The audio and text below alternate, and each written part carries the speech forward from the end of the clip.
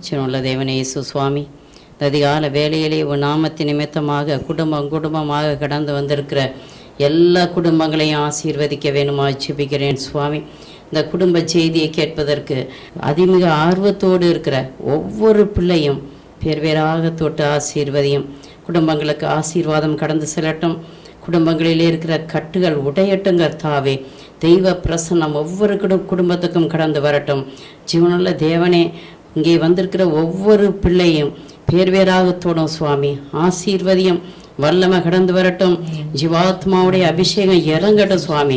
ஹalleluya ஹalleluya ஹalleluya ஹalleluya எல்லாரும் வல்லமையா துதிங்க. ஹalleluya ஹalleluya ஹalleluya ஹalleluya வானம் திறக்கப்படட்டும் கர்த்தாவே உமது வல்லமை இறங்கட்டும் சுவாமி. உமது வல்லமை வல்லமை வல்லமை வல்லமை. ஜீவாத்மாவுடைய வல்லமை இறங்கட்டும் கர்த்தாவே வேதத்தில் உள்ள எல்லா ரகசியங்களையும் இந்த வேளையிலே நீ வெளிப்படுத்தி தர வேணுமா ஜெபிக்கிறோம் சுவாமி. ஹalleluya ஹalleluya ஹalleluya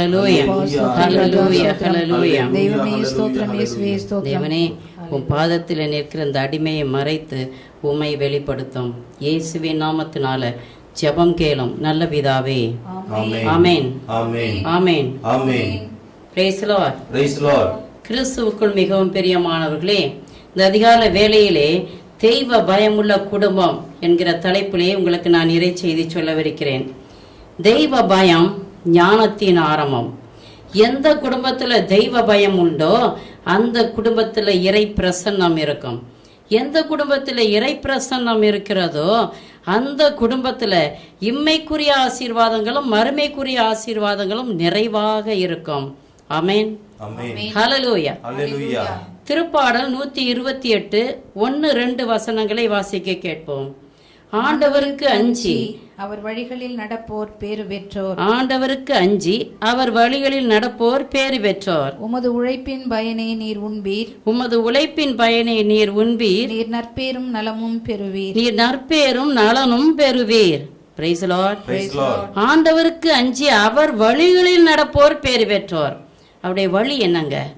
உண்மையின் வழி நீதியின் வழி மன்னிப்பின் வழி அன்பின் வழி ஆறுதலின் வழி அமைதியின் வழி பொறுமையின் வழி சாந்தத்தின் வழி நீதி நீதி நேர்மை இரக்கத்தின் வழி நன்னயத்தின் வழி நம்பிக்கையின் வழி பிரியமானவர்களே.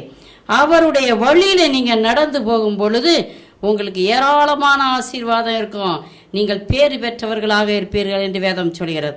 Praise அவருடைய வழியில என் தேவன் இயேசு கிறிஸ்துவனுடைய வழியில நீங்கள் நடக்கும் பொழுது உங்கள் உழைப்பின் பயனை நீங்கள் உண்பீர்கள். உங்கள் உழைப்பை ஆண்டவர் ஆசீர்வதிப்பார். நிலத்தின் விளைச்சலை ஆசீர்வதிப்பார். உங்கள் மந்தையில் ஆட்டு மந்தையும் மாட்டு மந்தையும் அதிகம் அதிகமாக பழுகும். பிரியமானவர்களே தேவனுடைய வழியில நடக்காத குடும்பங்களுக்கு துன்பங்களுக்கு மேல் துன்பம் வரும். நஷ்டங்களுக்கு மேல் நஷ்டம் வந்து சேரும். பிரியமானவர்களே ஒரு நிமிஷம் ஓஹோன்னு இருக்கிறது போல இருக்கும் அந்த குடும்பம். மறு நிமிஷம் காணாமலே போய்விடும். அவ இந்த எரிச்செய்தியை கேட்டுக்கொண்டு இருக்கிற பிள்ளைகளே தேவனுடைய வழியில நடக்க பாருங்க. தெய்வ பயமுள்ள குடும்பத்தை கட்டி எழுப்புங்க. குடும்பம் குடும்பம் குடும்பமாக தேவனுடைய பாதையில நடந்து செல்லணும். என் ஆண்டவர் இயேசு கிறிஸ்து என்ன சொல்கிறார்? நானே வழி என்று சொல்கிறார். நானே வழி என்று சொல்லும் அந்த தேவனை பின்பற்றி போங்க. இரக்கத்தின் பாதையில போங்க. சாந்தத்தின் பாதையில போங்க. பொறுமையின் பாதையில போங்க. அன்பின் பாதையில போங்க. பரிவின் பாதையில போங்க. தன்னடக்கத்தின் பாதையில போங்க. உங்க குடும்பம் செழிக்கும். ஒரு சகோதரன் என்னிடத்தில் இப்படியாக சொன்னார். சிஸ்டர் நான் சின்ன வயசாக இருக்கும் பொழுது எங்கள் வீட்டில் சாப்பிட்றதுக்கு ஒன்றுமே கிடையாது. இப்போ நான் நல்ல ஒரு அந்தஸ்தில் இருக்கிறேன் நல்ல வசதியாக இருக்கிறேன் எல்லாம் இருக்குது என் வீட்டில். ஆனால் சாப்பிட முடியலை. சாப்பிட முடியாத நிலையில் இருக்கிறேன் அப்படின்னு சொன்னார். நான் கேட்டேன் ஏன் சார்? ஏன் அப்படி ஆயிடுச்சு? அப்படின்னு கேட்டேன்.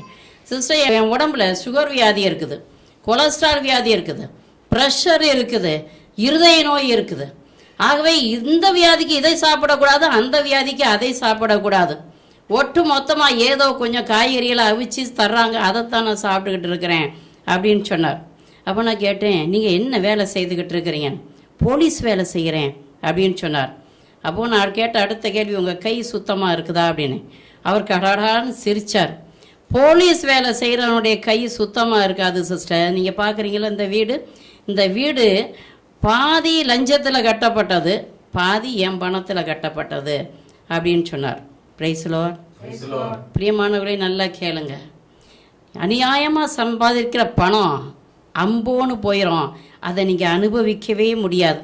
அநியாயமாக அட்டுழியம் செஞ்சு அடாவடித்தனம் செஞ்சு அநியாய வட்டிக்கும் டவுரி டவுரி கேட்டு வாங்குற இவ்வளவு கொடு அவ்வளவு கொடு அப்படின்னு சொல்லி கேட்டு வாங்கி நீங்கள் நல்ல வசதியாக இருக்கலாம் நினச்சாக்கும் ஒரு நிமிஷத்தில் புகை போல மறைஞ்சு போயிடும் காற்று போல மறைஞ்சு போயிடும் பிரியமானவர்களே.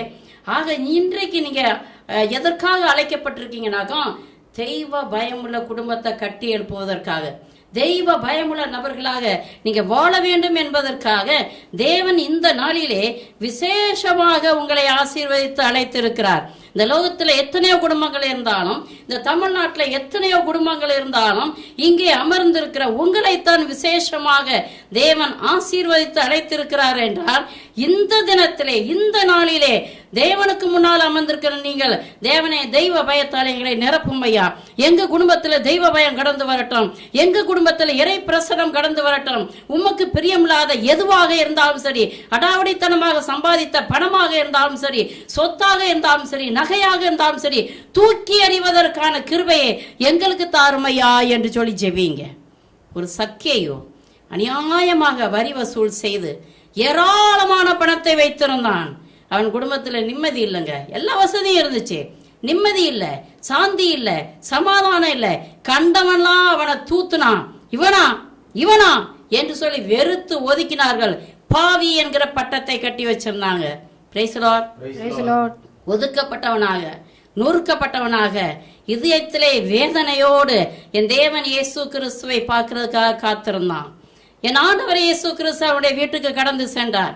பிரியமானவர்களே என் தெய்வம் அந்த வீட்டிற்கு கடந்து சென்ற பொழுது அந்த வீட்டில் இறைப்பிரசன்னம் அசைவாட ஆரம்பிச்சது.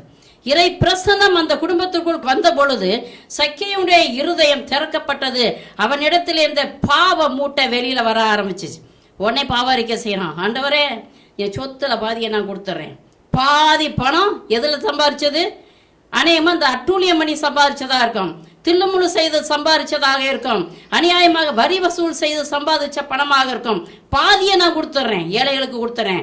எவனையாவது ஏமாற்றி இருந்தாக்கும் நாலு மடங்கு திருப்பி கொடுக்கிறேன் அப்படின்னு சொன்னார். அப்படி சொன்ன பொழுது என் தேவன் திருவாய் மறந்து சொன்னது என்ன தெரியுமா? இன்று இந்த வீட்டிற்கு மீட்பு வந்தது.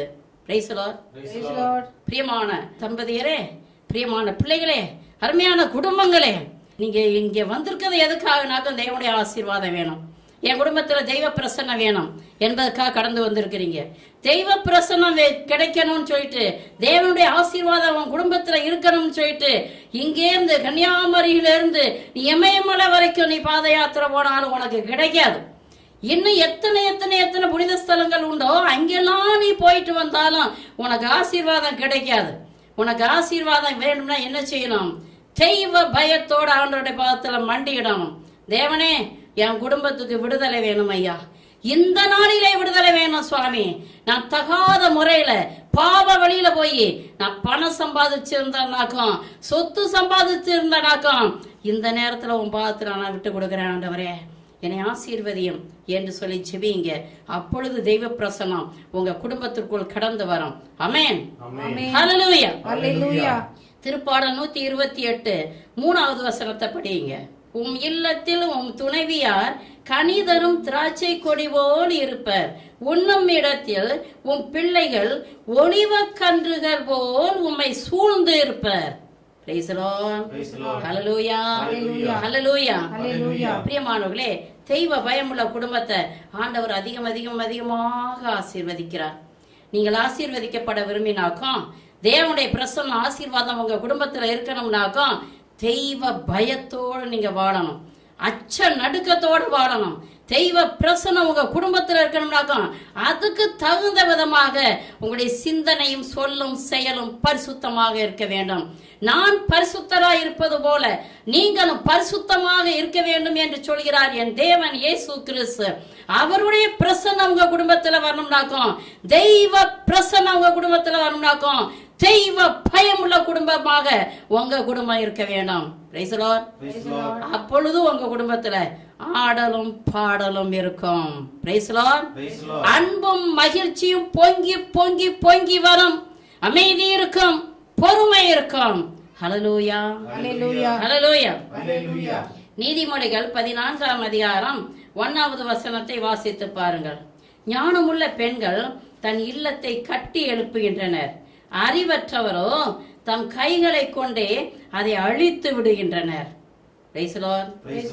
பிரியமானவர்களே ஞானமுள்ள பெண்கள் என்ன செய்யறாங்களாம் அதிக அக்கறையோடு தங்க வீட்டை கட்டி எழுப்புகிறார்கள் இந்த வீட்டு காரியங்கள்ல அதிக அக்கறையோடு இருக்கிறாங்க. கஷ்டப்பட்டு உழைக்கிறாங்க. கஷ்டப்பட்டு உழைச்சு தன் குடும்பத்தை கட்டி எழுப்புறாங்க. வீண் செலவு செய்யவே மாட்டாங்க. வீட்டு காரியங்கள்ல அதிக அக்கறை செலுத்தி அதிகாலையில எழுந்திருக்கிறாங்க. கஷ்டப்பட்டு உழைக்கிறாங்க. வீண் செலவு செய்யவே மாட்டாங்க. எவ்வளவு வருமானம் வருகிறதோ அதுக்கு தகுந்தபடி செலவு செய்துட்டு அதிலையும் பத்து பைசா எடுத்து வச்சு வருங்காலத்திற்கு எதிர்காலத்துக்கு இது உதவும் என்று சேமித்து வைக்கிறார்கள். தெய்வ பயமில்லாத மனைவி தெய்வ பயமில்லாத பெண் என்ன செய்வாள்? சோம்பேறியாக இருப்பாள். வருமானத்துக்கு அதிகமான செலவுகளை அவள் செய்வார். குடும்பத்தையே நஷ்டப்படுத்தி கொண்டே இருப்பார். பிரியமானவரே எந்த குடும்பத்துல தெய்வ பயம் இல்லையோ எந்த குடும்பத்துல இறை பிரசனம் இல்லையோ அந்த குடும்பம் மெதுவா இல்லாமலே போய்விடும். காணாமல் போய்விடும் பிரியமானவர்களே. ஆக எனக்கு அருமையான சகோதரிகளே ஆவதும் பெண்ணாலே அழிவதும் பெண்ணாலே ஒரு குடும்பத்தை கட்டி எழுப்பணும்னாக்கா அது உங்க கையில இருக்குது பிரியமானவர்களே. ஒவ்வொரு நாளும் தேவனை சுற்றி நீங்க உட்காரணும். தெய்வ குடும்பம் அங்க இருக்கணும். ஜெபத்துல இருக்கணும். இறை வசனங்களை வாசித்து தியானிக்கணும். அதே நேரத்துல ஏராளம் தான தர்மங்களும் செய்யுங்க. கூடி ஜெபிக்கிற குடும்பத்துல கூடி துதிக்கிற குடும்பத்துல கூடி இறை வசனத்தை வாசித்து தியானிக்கிற குடும்பத்துல ஆண்டவர் அப்படியே வந்து ஜம்முன்னு உட்காருவார். Lord. எந்த குடும்பத்துல துதி இருக்குதோ? துதியின் மத்தியில் வாசம் செய்கிற தேவன் உடனடியாக கடந்து வருவார். உன் குடும்பத்துல தங்கி இருப்பார் என் தேவன் இருக்கிற குடும்பத்துல சமாதானம் பேரின்பம்.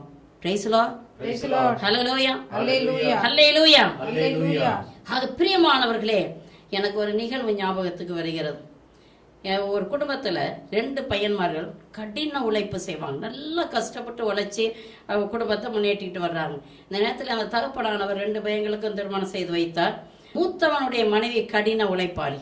அப்ப மூத்தவனும் இந்த மூத்த மருமகளும் சேர்ந்து குடும்பத்தை அருமையா கட்டி எழுப்புனாங்க. ரெண்டு பையன்களுக்கு அரை அரை ஏக்கர் நிலம் பிரிச்சு கொடுத்தாங்க. இந்த தம்பி கடின உழைப்பாளி ஆனா தம்பிக்கு கிடைச்ச மனைவியோ சுத்தம் சோம்பேறி. காலையில அவ எந்திரிக்கிறதே ஏழரை மணிக்கு தான் எழுந்திருப்பாள் வரவுக்கு மீறிய செலவு ஆடம்பரம் கடன் வாங்கி கடன் வாங்கி கடன் வாங்கி ஆடம்பர செலவுகள் செய்துகிட்டு இருந்தாங்க. இஷ்டம் போல டவுனுக்கு டவுனுக்கு போறது ஹோட்டல்ல சாப்பிடுறது சுத்துறது இப்படியாக இருந்தார்கள். பிரியமானவர்களே மெதுவா நிலத்தை வித்து செலவு செய்தாங்க. அதுக்கு பிறகு வீட்டுல அந்த உருப்படியெல்லாம் வித்து வித்து வித்து செலவு செய்தாங்க. அதுக்கு பிறகு வீட்டையும் வித்தாங்க.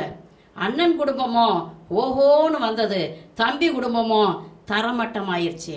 காரணம் அந்த பெண் தெய்வ பயம் இல்லாத பெண்ணு இஷ்டம் போல வாழ்ந்தா தருதலையா வாழ்ந்தா குடும்பத்தை கட்டி எழுப்பணுங்கிற சிந்தனையே இல்லாமல் வாழ்ந்தா ஒரு காலகட்டத்துல அந்த ஊரை விட்டே அந்த குடும்பம் வெளியேற வேண்டிய ஒரு சூழ்நிலை வந்தது. பிரியமான சகோதரிகளே இன்னைக்கு உன் குடும்பம் ஓஹோன்னு இருக்குதுனாக்கா அது உன்னுடைய கடின உழைப்பு தெய்வ பயம் குடும்ப ஜபம். அதே நேரத்துல உன் குடும்பம் தாழ்ந்து தரமேட்டமாயிருச்சுனாக்கா நீ தேவனை நோக்கி பார்க்கல. தெய்வ பயம் உனக்கிட்ட இல்ல. என்னால் முடியும் நீ ஒருவேளை இருந்திருக்கலாம். ஒருவேளை நீ சோம்பேறித்தனமாக இருந்திருக்கலாம். அதனால குடும்பம் அழிஞ்சுகிட்டு இருக்குது. என் இதை இறைச்செய்தியை கேட்டுக்கொண்டிருக்க பிரியமான சகோதரிகளே இதுவரைக்கும் நீங்கள் ஏனோ தானோ என்று இருந்திருக்கலாம். இந்த நாளிலே தேவனுடைய பாதத்தில் மண்டியிடுங்க. தேவனே என்னை ஆசீர்வதியும் ஐயா. எடுத்து நிறுத்தும் ஐயா. என் குடும்பம் ஒரு தெய்வ பயமுள்ள குடும்பமாக மாறட்டும். உமக்கு உகந்த குடும்பமாக மாறட்டும் என்று சொல்லி ஜெபம் பண்ணுங்க. பிரியமானவர்களே சாலமோன் ராஜாவான பொழுது அவன் இளைஞனாக இருந்தான். அவன் இளைஞனாக இருந்த பொழுது அநேகரை கூப்பிட்டு நான் சின்ன வயசுலயே நான் ராஜாவாயிட்டனே எனக்கு திறமை இல்ல எனக்கு அனுபவம் இல்ல. நீங்க வாங்க அறிவுரை சொல்றதுக்கு நீங்க வாங்க அறிவுரை சொல்ற அண்டை நாட்டு ராஜாக்களை எல்லாம் கூப்பிடல. உற்றார் உறவினர்களை கூப்பிடல. தன்னுடைய நண்பர்களை கூப்பிடல. அவர் எங்கே போய் சரணடைந்தார்? ஆண்டவர்கிட்ட போய் சரணடைந்தார். ஆண்டவரே நான் இள வயதினனாக இருக்கிறேன். எனக்கு அனுபவம் போதாது. இந்த மாபெரும் நாட்டை கட்டி எழுப்புவதற்கு மக்களை உம்பால் கொண்டு வந்து சேர்ப்பதற்கு எனக்கு திறமை இல்லை. ஞானம் வேணும் ஐயா. ஆயிரம் எரிபலிகளை செலுத்தினார். ஞானத்துக்காக மன்றாடினார். ஆண்டவருக்கு இவருடைய ஜபம் மிகவும் பிடித்தமாக இருந்தது. அது பிரியமானவர்கள் ஆண்டவர் என்ன செய்தார் தெரியுமா? இந்த சாலமோன் கேட்ட ஞானத்தை மட்டுமல்ல பிரியமானவர்களே அறிவையும் கொடுத்தார். ஏராளமான செல்வத்தையும் கொடுத்தார். நீ பெரிய பணக்காரர் ஆகணும்னு ஆசைப்படுறீங்களா? ஞானத்துல நிறைந்து இருங்க. இதைத்தான் சாலமோன் கேட்டார். எனக்கு ஞானம் வேணும்னு கேட்டாரு. ஆண்டவர் அறிவையும் சேர்த்து கொடுத்தாரு. அதோட செல்வத்தையும் சேர்த்து கொடுத்தார். பிரியமானவர்களை சாலமோனை போல ஒவ்வொரு குடும்ப தலைவியும் ஒவ்வொரு குடும்ப தலைவனும் இன்றைக்கு என்ன செய்யணும் ஆண்டவருடைய பாதத்துல மண்டியிட்டு ஞானத்துக்காக அவர் பிரியமானவர்களே ஞானத்துக்காக நீங்க ஜெபிக்கும் பொழுது உங்க குடும்பத்துல தெய்வ பயம் கடந்து வந்து வரும். இம்மைக்குரிய ஆசீர்வாதங்களும் மறுமைக்குரிய ஆசீர்வாதங்களும் ஏராளம் ஏராளம் உங்க குடும்பத்துல இருக்கும். ஆமென். Amen. ஹalleluya. Hallelujah. நீதிமொழிகள் பனிரெண்டு நான்காவது வசனத்தை படியுங்க. பண்புள்ள மனைவி தன் கணவனுக்கு மணிமுடியாவாள். பண்புள்ள மனைவி தன் கணவனுக்கு மணிமுடியாவாள். இழிவு வருவிப்பவள் அவனுக்கு எலும்புருக்கி போலிருப்பாள். இழிவு வருவிப்பவள் அவனுக்கு எலும்புருக்கி போல் இருப்பாள்.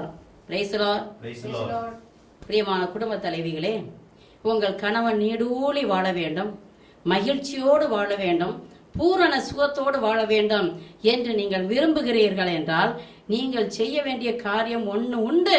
அது என்னவென்றால் உங்கள் கணவனுக்கு பணி உள்ள பண்புள்ள மனைவியாக நீங்கள் இருக்க வேண்டும். பிள்ளைகளுக்கு பாசமுள்ள ஒரு தாயாக இருக்க வேண்டும். மாமன் மாமியாருக்கு அன்பார்ந்த ஒரு மருமகளாக இருக்க வேண்டும். பிரியமான சகோதரிகளே உங்க கணவனை நீங்க மகிழ்விக்கணும்னாக்கா உங்க மாமே மாமியார மகிழ்விக்க பாருங்க. உங்க மாமனும் மாமியாரும் சந்தோஷமா இருக்கிறத உங்க கணவன் பார்க்கும் பொழுது அவன் பூரித்து போய் விடுவான் ஏராளமான குடும்பங்கள்ல என்ன சண்டைங்க வருது? யார் யாருக்கு சண்டை வருது? மாமியார் மருமகள். மாமியார் மருமகள் சண்டை. சரியா சொன்னீங்க. அப்ப மாமியார் மருமகள் சண்டை வரும் பொழுது கணவன் நீடூழி வாழ்வானா? அவன் சந்தோஷமா இருப்பானா? அவன் பூரண சுகத்தோட இருப்பானா? கொஞ்சம் அலசி பாருங்க. பிரியமானவர்களே உன் கணவன் உனக்கு வேணும்னாக்கா நீங்கள் செய்ய வேண்டியது மாமன் மாறி மாமியாரே அன்போடு க- கவனித்துக் கொள்ளுங்கள். அவருடைய தேவைகள் எல்லாவற்றையும் நீங்கள் சந்திங்க பிரியமான மனைவியரே உங்கள் வீட்டை நன்றாக சுத்தமா வச்சுக்கிறங்க நல்ல ருசியா சமைச்சு கொடுங்க. அப்போ உங்க கணவனும் பிள்ளைகளும் மாமன் மாமியாரும் எல்லோருமாக சந்தோஷமாக இருப்பார்கள். The Lord. எனக்கு ஒரு குடும்பத்து தெரியும். கணவன் மனைவி ரெண்டு பேருமே வேலைக்கு போறாங்க. அவன் வேலைக்கு போயிட்டு வந்து சமைச்சு பிள்ளைகளுக்கு கவனிச்சு மாமன் மாமியாரை கவனிச்சு ரொம்ப கஷ்டம். அப்போ அந்த வீட்டு தலைவியை பார்த்து நான் சொன்னேன் நீங்க எதுக்கு வேலைக்கு ஒரு ஆள் வைக்க கூடாது அவங்க சமைக்கலாமே. நீங்க மற்ற வேலைகளை பார்க்கலாமே. அப்படின்னு நான் சொன்னதுக்கு அந்த அம்மா என்ன சொன்னாங்க தெரியுமா? என் கணவனுக்கும் என் பிள்ளைகளுக்கும் என் மாமன் மாமியாருக்கும் என் கையாலேயே நான் சமைச்சு கொடுக்கணும். அப்படின்னு சொன்னாங்க. அப்படிப்பட்ட மனைவி தான் ஒரு கணவனுக்கு மணிமுடியாக இருக்க முடியும். பிரியமானவர்கள் இன்னைக்கு ஏராளமான குடும்பங்கள்ல நான் பார்க்கிறது என்ன? கணவன் கஷ்டப்பட்டு வேலை செஞ்சுட்டு வீட்டுக்குள்ள நுழைவார். வீட்டுக்குள்ள நுழையும் பொழுது அவர் வந்தாரோ வரலையோ அதை பத்தி கவலை கவலையே இல்லை. டிவிக்கு முன்னால உட்கார்ந்தா போதும். கால் நீட்டி போட்டுக்கிட்டு மணிக்கணக்கா டிவிக்கு முன்னால உட்காந்துக்கிட்டு ஒரு சீரியல் முடிஞ்சோடனே இன்னொரு சீரியல் ஒரு சினிமா முடிஞ்சோடனே இன்னொரு சீரியல் பட- படம். இப்படி மாத்தி மாத்தி மாத்தி பார்த்துக்கிட்டு இருக்கிற பெண்களை எனக்கு தெரியும். தப்பி தவறி கணவன் வீட்டுக்குள்ள வந்து டீ இல்லையா? அப்படின்னு கேட்டாக்கா அருமையான மனைவியர் என்ன சொல்லுவாங்க தெரியுமா? எத்தனையோ டீ கடைகளை கடந்து தானே நீ வந்தீர். ஒரு கடையில ஒரு கப் டீ வாங்கி குடிச்சிட்டு வர முடியாதா? இப்பதான் உஸ்ஸுன்னு உட்கார்ந்து இருக்கிறேன் அதுக்குள்ள வந்துட்டீர். என்று சொல்லி வெடுக்குன்னு பதில் சொல்றவங்க எத்தனையோ பேர் உண்டு. பிரியமான சகோதரிகளே இன்றைக்கு நீ உன் கணவனுடைய தேவையை நீ நிறைவேற்றவில்லை என்றால் அவருக்கு ஒரு கப்பு காஃபி உனால சூடா கொடுக்க முடியலைனாக்கும் நாளைக்கு அவன் மதுவான கடையில நிற்பான். இந்த வீட்டுக்கு நேரத்தோட போறதை விட்டுட்டு டீ கடையில கொஞ்சம் நடந்துட்டு போகலாமே மதுபான கடையில கொஞ்சம் நடந்துட்டு போகலாமே அப்படி நடக்கத்தான் போவான் முதல்ல. மனசு விரக்தியில குடிக்க ஆரம்பிச்சிருவான். இன்னைக்கு ஏராளமான குடியர்கள் இந்த ஊர்ல இந்த நாட்டுல இருக்கிறாங்கனாக்கா காரணமே மனைவியர் தான் பிரியமானவர்களே உங்கள் கணவன் நல்லவராக இருக்கிறதும் கெட்டவராக இருக்கிறதும் உங்க கையில தான் இருக்குதுங்கிறத தெளிவாக அறிந்து கொள்ளுங்கள். கணவனை நச்சரிக்காதீங்க. அவர் வீட்டுக்குள்ள நுழையிறதுக்கு முன்னாலேயே அரிசி இல்ல பருப்பு இல்ல உளுந்து இல்ல எண்ணெய் இல்ல மிளகாய் இல்ல என்ன தாயா இந்த வீட்டுல இருக்குது? எப்ப போகிறீர்? வீட்டுக்குள்ள நுழையிறதுக்கு முன்னால எப்ப வாங்க போகிறீர்? எப்ப கடைக்கு போகிறீர்? கொஞ்சம் அங்க உட்கார். என்னங்க எப்ப போறீங்க? என்னங்க எப்ப போறீங்க? எப்ப போறீங்க? நச்சரிச்சுக்கிட்டே இருந்தாக்கும் அவனுக்கு மனசு உடைஞ்சு போயிடும். இதை பற்றி ஞானியார் என்ன சொல்றாரு பாருங்க. நீதிமொழிகள் பத்தொன்பதாவது அதிகாரம் பதிமூன்றாவது வசனம். மனைவியின் நச்சரிப்பு ஓட்டை கூரை நின்று ஓயாது ஒழுகும் நீர் போன்றது. Hallelujah. ஓயாம நச்சரிச்சுக்கிட்டு இருக்காதீங்க ஒரு முறை அரிசி இல்லைன்னு சொல்லியாச்சா? சொல்லியாச்சு. அதுக்கு பிறகு ஒருவேளை அவர் மறந்துட்டாருன்னா ஏங்க அரிசி இல்லைன்னு சொன்னனே. அப்படி ஒரு சாந்தமா சொல்லுங்க. வெடுக்கு வெடுக்கு வெடுக்கு வெடுக்கு வெடுக்குன்னு கத்தாதீங்க. உச்ச தொனியில கத்தாதீங்க. பாத்திரங்களை எடுத்து வீசாதீங்க. கதவு ஜன்னல படார் படார்னு அடிக்காதீங்க.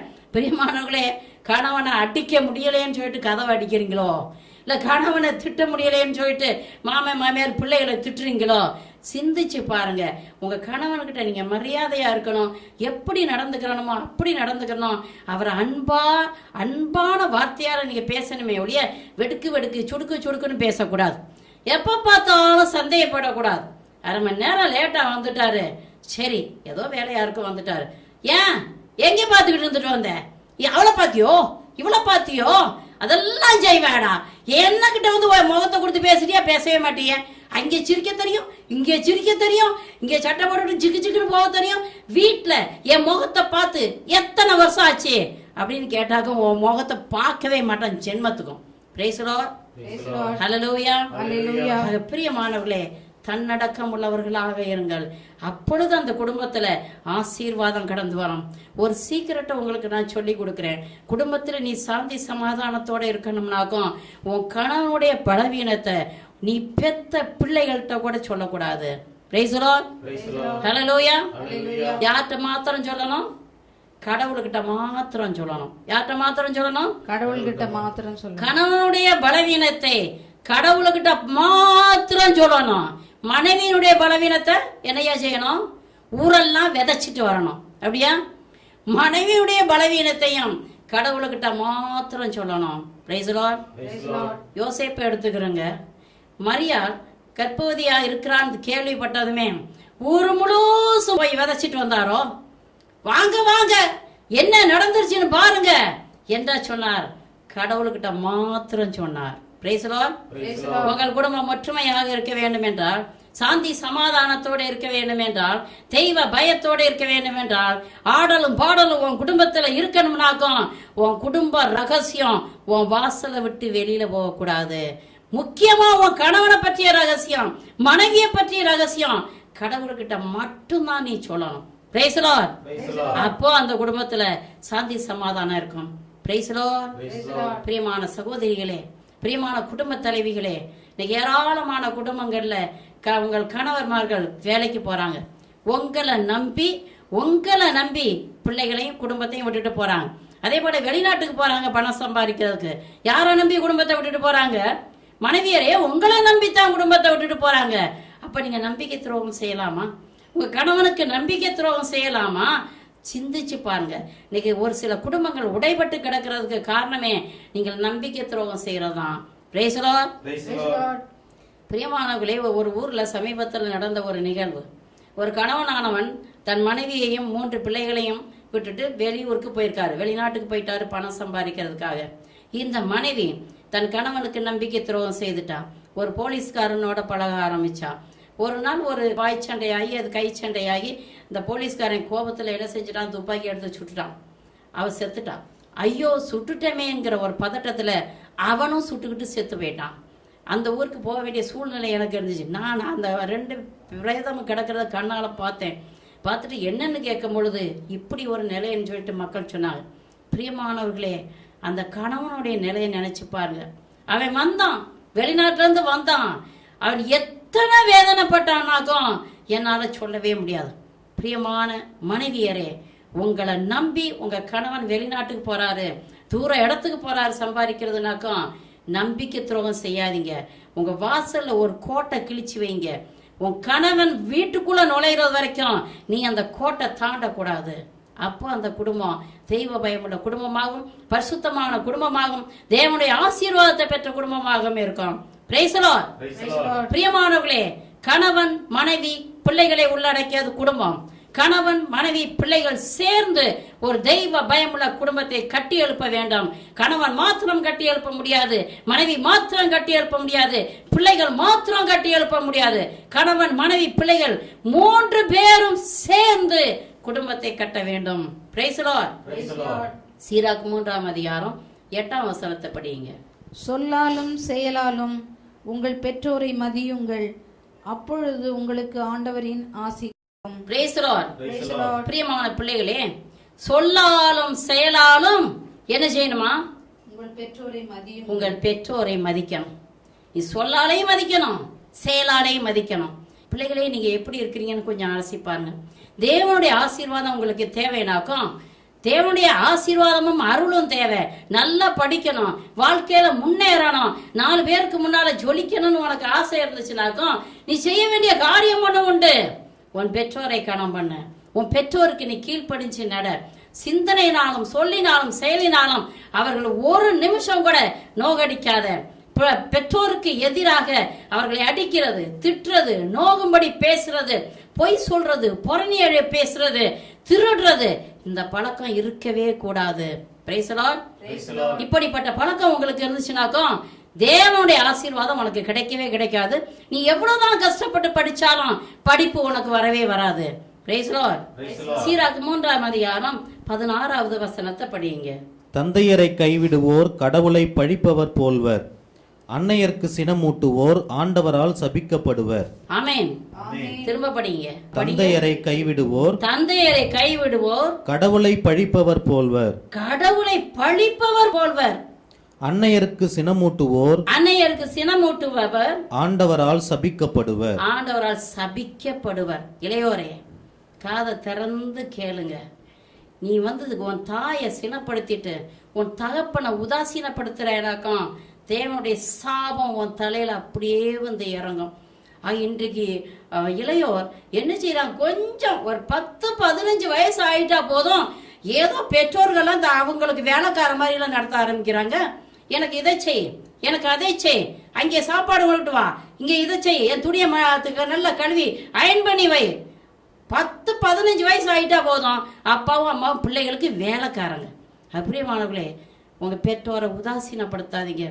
நீ பெற்றோரை நீ உதாசீனப்படுத்தினாக்கும் கடவுளுடைய சாபம் உன் தலையில வந்து இறங்கும்னு சொல்லிட்டு வேத வசனம் சொல்லுகிறது. Praise the Lord. எனக்கு ஒரு குடும்பத்தை தெரியும். கூலி வேலை செய்கிறவங்க அப்பாவும் அம்மாவும் கஷ்டப்பட்டு கூலி வேலை செய்து அவங்களுக்கு ஒரே ஒரு மகன். அந்த மகனை எப்படியாவது என்ஜினியர் ஆக்கிடணும்னு சொல்லிட்டு அவங்களுக்கு நல்ல ஆசை. அப்போ சென்னையில பிரபலியமான ஒரு பெரிய என்ஜினியரிங் காலேஜில் தன்னுடைய மகனை கொண்டுட்டு போய் சேர்த்தாங்க நல்லா படிக்கிற பையன். அதுல ஒரு குறையும் இல்லை. அப்போ அந்த பையன் படிச்சுக்கிட்டு இருக்கான். கஷ்டப்பட்டு கஷ்டப்பட்டு ராத்திரி பகலா உழைக்கிறாங்க. ராத்திரி நேரத்துல தண்டை தோட்டத்துல உழைப்பாங்க. பகல் நேரத்துல கூலி வேலைக்கு போவாங்க. அப்படியாக அவங்க ராத்திரி பகலும் உழைச்சி உழைச்சி பைசா சேர்த்து இந்த பையனுக்கு அனுப்பி வைக்கிறாங்க. நாங்க தான் கஷ்டப்பட்டு போனோம். ஒரு சில சமயம் நான் கேட்கறது உண்டு ஏங்க இப்படி கஷ்டப்படுறீங்க? விரலுக்கு ஏத்த வீக்கம்னு சொல்லுவாங்க. உங்க தகுதிக்கு ஏற்றபடி ஒரு படிப்பை படிக்க வச்சானா? இவ்வளவு பெரிய படி படிப்பை படிக்க வச்சுட்டு ஏங்க கஷ்டப்படுறீங்க? அப்படின்னு நான் ஒரு முறை கேட்டிருக்கேன். அப்போ அந்த தாயானவள் என்ன சொன்னா தெரியுமா? நாங்க தான் கஷ்டப்படுறோம் அந்த வெயிலில் இடந்து என் பிள்ளையாவது நல்லா இருக்கட்டும்னு சொல்லி தான் இந்த கஷ்டப்பட்டு நாங்கள் வந்து படிக்க வைக்கிறோம் அப்படின்னு சொன்னாங்க. ஒரு நாள் என்ன நடந்தது? இந்த தகப்பனார் கிராமவாசிங்க கிராமவாசி பேண்ட்டும் ஷர்ட்டும் கோட்டும் போட்டுக்கிட்டு போக மாட்டாங்க. சாதாரண வேஷ்டியும் ஒரு சட்டையும் போட்டுக்கிட்டு தன்னுடைய மகனை பார்க்கறதுக்காக கொஞ்சம் நிலக்கடலை வாங்கி வறுத்து எடுத்துக்கிட்டு இந்த தகப்பனார் போகிறார் ரெண்டாயிரம் ரூபா காசையும் பையில் பிடிச்சிக்கிட்டு ஃபீஸ் கட்டுறதுக்காக. அங்கே போன பொழுது காலேஜுக்கு முன்னாலேயே அவருடைய மகன் தன்னுடைய ஃப்ரெண்ட்ஸுகளோட நல்லா பேசி சிரிச்சுட்டு இருக்கிறான். மகனை பார்த்த சந்தோஷத்துல இந்த தகப்பனார் ஓடி போய் கட்டி பிடிச்ச மகனே! அப்படின்னு சொல்லி முத்தமிட்டு இருக்காரு அப்போ இந்த மகன் கொஞ்சம் அப்படி பிடிச்சி பின்னால் தள்ளி வச்சிருக்கிறார். ஃப்ரெண்ட்ஸ் எல்லாம் கேட்டாங்க யார் தாத்தா? தாத்தா யார்? அப்படின்னு கேட்ட பொழுது இந்த மகன் என்ன சொல்லியிருக்கான் என் பண்ணையில் வேலை செய்கிற தோட்டக்காரரு. என்னையனா இவருக்கு ரொம்ப உயிர். அப்படின்னு சொல்லியிருக்கார். இந்த தகப்பனுக்கு ஆடி போயிருச்சு. ஆனால் தன்னுடைய மகனை அவருடைய ஃப்ரெண்ட்ஸ் முன்னால் கீழே விடக்கூடாதுன்னு சொல்லிட்டு தம்பி உங்கள் அப்பா இந்த கடலையை கொடுத்துட்டு வர சொன்னாரு. அதே நேரத்தில் இருந்தாங்க ரெண்டாயிரம் ரூபாய் உங்கள்கிட்ட கொடுத்துட்டு வர சொன்னார் உங்கள் அப்பா. நீங்கள் நல்லா இருக்கிறீங்களான்னு கேட்டுட்டு வர சொன்னாரு.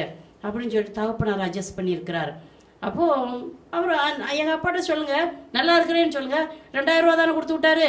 நான் இருபதாயிரம் ரூபாயில் நான் ஃபோன் பண்ணி சொல்லியிருந்தேன். சரி பரவாயில்ல. நீங்கள் போங்க தாத்தா நீங்கள் போங்க.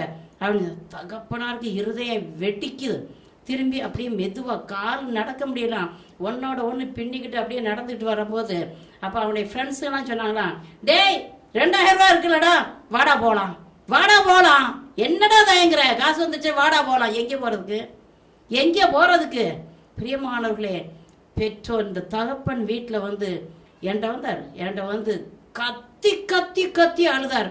என்னையான்னு கேட்டேன். இந்த விஷயத்தை சொன்னார். இப்படி இருக்கிறான் என் பையன். என்ன செய்யறதுன்னு தெரியல. நாலாவது வருஷம் படிச்சுக்கிட்டு இருக்காரு. இன்ஜினியர் நாலாவது வருஷம் படிச்சுக்கிட்டு இருக்காரு. பிரியமானவர்களே பெற்றோர் ரத்த வேர்வை வேர்த்து ராத்திரி பகலா கஷ்டப்பட்டு சம்பாதிச்சு நீங்க படிக்கணும். நீங்க வாழ்க்கையில முன்னேறணுங்கன்னு பணம் அனுப்பும் பொழுது நீ இஷ்டம் போல போதை பொருட்களுக்கும் குடிக்கும் உல்லாச வாழ்க்கைக்குமா நீ செலவழிச்சுக்கிட்டு இருந்தீங்கனாக்கும் தேவனுடைய ஆசீர்வாதம் உன் மேல இறங்குமா? சிந்தித்து பாருங்க. அந்த பையன் இப்ப படிப்பை முடிச்சிட்டான். நல்ல ம- மதிப்பெண்ல அவன் பாஸ் பண்ணான். நல்ல மார்க்கு இன்ன வரைக்கும் அவனுக்கு வேலை கிடைக்கல. இன்னைக்கு அவன் என்ன செய்யறான் அதே தோட்டத்தில் அவனுடைய தோட்டத்தில் போய் அவன் தோட்ட வேலை தான் செய்துக்கிட்டு இருக்கிறான். காரணம் என்ன? பெற்றோருடைய ஆசீர்வாதம் கிடையாது. அது பிரியமானவர்களை நீ நல்லா படிக்கலாம். ஃபர்ஸ்ட் ரேங்க் எடுக்கலாம். பெற்றோருடைய ஆசீர்வாதம் இல்லைனாக்கும் நீ படிச்சிருக்கிற மாதிரி சர்டிபிகேட் ஃபர்ஸ்ட் ரேங்க் ஃபர்ஸ்ட் கிளாஸ்ன்னு சொல்லிட்டு அதை எடுத்துட்டு நீ எந்த இடத்துக்கு போனாலும் உனக்கு வேலை கிடைக்காது. அதிகாரிகளுடைய கண்கள்ல உனக்கு தயவு கிடைக்க செய்கிறவர் என் ஆண்டவர். ஆமென். நீ பெற்றோரை உதாசீனப்படுத்தினாக்கா நீ பெரிய படிப்பு படிச்சுட்ட நீ நினைச்சுக்கிட்டு இருக்கலாம். நீ எங்கே போனாலும் உனக்கு வேலை கிடைக்காது. உனக்கு ஆசீர்வாதமே இருக்காது. கைக்கு எட்டுனது வாய்க்கு எட்டாம போயிடும் இன்னொரு நிகழ்வையும் கூட நான் சொல்றேன். இது பெங்களூர்ல இருக்கும் பொழுது அங்க பெங்களூர்ல நடந்த ஒரு நிகழ்வு. பிரியமானவர்களே அங்க இருக்க மருத்துவ கல்லூரியில ஒரு மாணவன் படிச்சுக்கிட்டு வர்றான். அவங்க அப்பா மார்க்கெட்ல மூட்டை தூக்குற வேலை. அப்போ மூட்டை தூக்கி கஷ்டப்பட்டு எப்படியாவது என் மகன் மேல வந்துடும் அவன் படிச்சு ஒரு டாக்டர் ஆகி ஏழைகளுக்கெல்லாம் உதவி செய்ய நான் ஏழையா இருக்கிறேன். எனக்கு பெரிய ஆஸ்பத்திரியில போய் மருந்து வாங்க காசு இல்ல. அதுபோல எத்தனையோ ஏழைகள் கஷ்டப்படுவாங்க. என் பையன் படிச்சுட்டு வரட்டும். எல்லா ஏழைகளுக்கும் உதவி செய்யட்டுங்கிற ஒரு எண்ணத்துல கணவன் மனைவியுமா சேர்ந்து கஷ்டப்பட்டு ச- பணம் சம்பாதிச்சு பையனை படிக்க வச்சுக்கிட்டு இருக்கிறாங்க. பையன் படிச்சுட்டான். அவனுக்கு கிராஜுவேஷன் டே இந்த சர்டிஃபிகேட் கொடுக்குற நாள். பெற்றோர் எல்லாரும் எல்லா குடும்பம் குடும்பமாக வந்திருக்காங்க. இந்த பையனுடைய பெற்றோரும் வந்திருக்காங்க. சாதாரண வேஷ்டி சட்டை சாதாரண ஒரு நூல் புடவையை கட்டிட்டு அவங்க அப்பா அம்மா வந்திருக்கிறாங்க. அப்போ ஒவ்வொரு மாணவனா மேல போய் அந்த சர்டிபிகேட் வாங்கும் பொழுது இந்த மாணவன் என்ன செஞ்சிருக்கிறான்? ரெண்டு கையிலையும் தன்னுடைய பெற்றோரை அப்படியே அணைச்சுக்கிட்டு மேடைக்கு போயிருக்கிறான். எல்லாரும் பார்த்துருக்காங்க. அவன் காலேஜ் ஸ்டூடெண்ட்ஸ்லாம் ஹோஹோன்னு சிரிச்சிருக்கிறாங்க.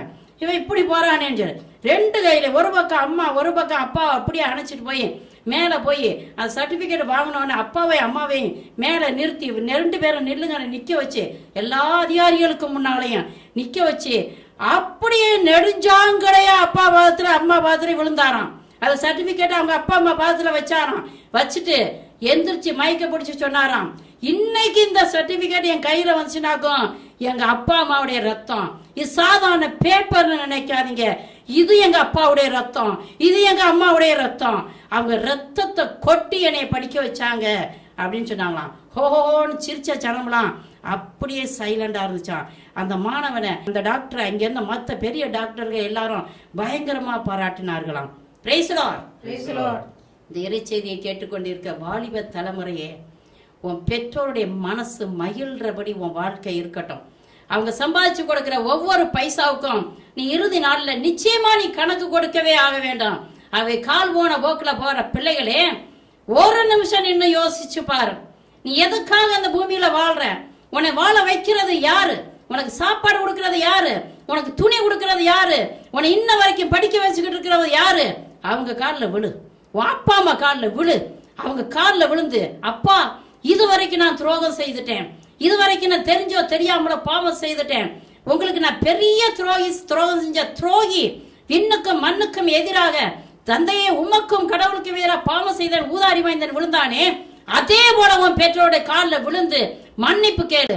அவங்க உன்னை மன்னிச்சு ஆசீர்வதித்தாக்கும் நீ இந்த பூமியில ஆசீர்வாதம் உள்ளவனாக இருப்பாய். திருப்பாடல் நூத்தி இருபத்தி எட்டு நாலு. ஆண்டவருக்கு அஞ்சி. நடக்கும் ஆடவர் இத்தகைய ஆசீர் பெற்றவராக இருப்பர். எத்தகைய ஆசீர்? உனக்கு நல்ல ஒரு மனைவி கிடைப்பா நல்ல பிள்ளைகள் கிடைப்பார். நீ தெய்வ பயமுள்ள கணவனாக இருந்தால் தேவனுக்கு உகந்த வாழ்க்கை நீ வாழ்கிறாய் என்றால் பரிசுத்தமான வாழ்க்கை நீ வாழ்ந்து கொண்டிருக்கிறாய் என்றால் ஆண்டவர் உனக்கு நல்ல ஒரு மனைவியை கொடுப்பார். நல்ல பிள்ளைகளை கொடுப்பார். இந்த செய்தியை கேட்டுக்கொண்டிருக்க அருமையான குடும்ப தலைவர்களே நீங்க கஷ்டப்பட்டு உழைக்கிறீங்க. இல்லைன்னு இல்லை. கஷ்டப்பட்டு உழைக்கிற எல்லா பைசாவையும் மதுபானத்துக்கும் போதை வஸ்துகளுக்கும் கூடா பழக்கத்துக்கும் செலவழிக்காதீங்க. குடும்பத்தை கட்டி எழுப்புறதுல கண்ணும் கருத்துமாக இருங்கள். Lord. எதுல கண்ணும் கருத்துமா இருக்கணும்? குடும்பத்தை கட்டி குடும்பத்தை கட்டி எழுப்பணும். பிரியமான சகோதரர்களே மிகுந்த வேதனையோட நான் சொல்றேன். இன்னைக்கு ஏராளமான பெண்கள் விபச்சார விடுதியில தொழில் கேட்டு போயிருக்கிறாங்க அப்படின்னாக்கா இதுக்கு காரணமே நீங்க தான் ஐயா. நீங்க சம்பாதிக்கிற பைசா எல்லாத்தையும் தான் தோண்டித்தனமா வாழ்ந்துட்டு இஷ்டம் போல செலவழிச்சிட்டு இருக்கிறதுனால தான் அநேக பெண்கள் வேதனைப்பட்டு கிடக்குறாங்க கஷ்டப்பட்டு கிடக்குறாங்க. ஆக நீ குடும்பத்துல நல்ல தகப்பனாக நல்ல கணவனாக நல்ல தலைவனாக நீ இருக்கிறாய் என்றால் நீ கஷ்டப்பட்டு உழைச்சு குடும்பத்தை கட்டி எழுப்பலாம் கஷ்டப்பட்டு உழைச்சு உன் பிள்ளைய முன்னேற்றலாம் அப்போ தேவனுடைய ஆசீர்வாதம் உன் மேல நிறைவாக இறங்கும். பிரியமானவர்களே குடும்பம் என்பது கணவன் மனைவி பிள்ளைகளை உள்ளடக்கியது. கணவனும் மனைவியும் பிள்ளைகளும் தேவனுக்கு உகந்த பிள்ளைகளாக குடும்பமாக வாழும் பொழுது தெய்வ பிரசன்னம் அந்த குடும்பத்தில் இருக்கும். அதுதான் தெய்வ பயமுள்ள குடும்பம். Praise the Lord. அப்பொழுது மனைவி கனிதரும் திராட்சை செடி போல இருப்பார். பிள்ளைகள் ஒளிவக்கன்றுகள் போல இருப்பார். Praise hallelujah Hallelujah. மனைவி கனிதரும் திராட்சை செடி பிள்ளைகள் ஒளிவ கன்றுகள் போல். மனைவி கனிதரும் திராட்சை செடி பிள்ளைகள் ஒளிவ கன்றுகள் போல் இல்லத்தில் மகிழ்ந்து வாழ்வார்கள் இடைவிடாமல் ஜெபிப்பார்கள் Praise the Lord. Hallelujah. Hallelujah. கொலோசியர் மூணாம் அதிகாரம் பத்தொன்பதாவது வசனத்தை வாசிச்சு பாருங்க திருமணமான ஆண்களே உங்கள் மனைவியரிடம் அன்பு செலுத்துங்கள். அவர்களை கொடுமைப்படுத்தாதீர்கள். வேதம் என்ன சொல்லுது? திருமணமான ஆண்களே உங்க மனைவியரை என்ன செய்யணுமா? அன்பு. செய்யுங்க.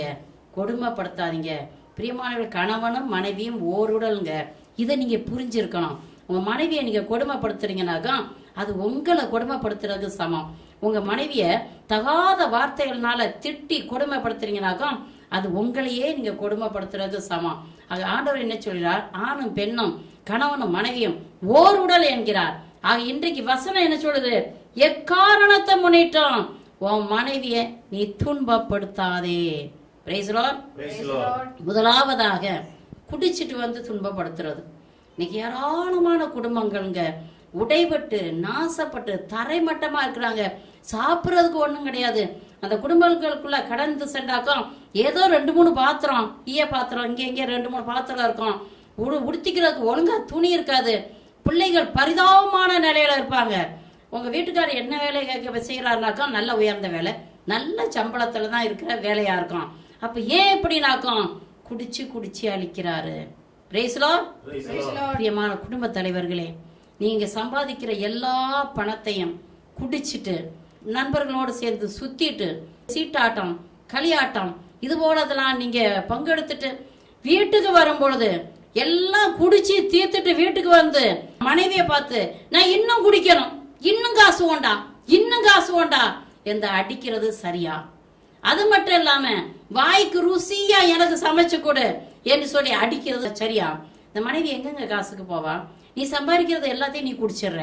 நீ சம்பாதிக்கிறது எல்லாத்தையும் உன் ஃப்ரெண்ட்ஸுகளோட எல்லாத்தையும் ச- போகிறது இங்கே போகிறது முருகல் வாங்கி திங்கிறது திரும்ப ஒரு பெக்கு திரும்ப ஒரு குவார்ட்டர் திரும்ப ஒரு ஹாஃப் அடிச்சுக்கிட்டே இருக்கிறது.